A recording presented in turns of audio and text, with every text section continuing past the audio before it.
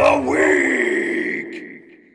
All right, we had a little mess up in our stats this week as we were adjusting the yeah. API. So the warrior of the week is going to be a little different this week. Uh, Jabode actually helped us find the thing. So instead of a warrior of the week, he's going to get a Bug smasher.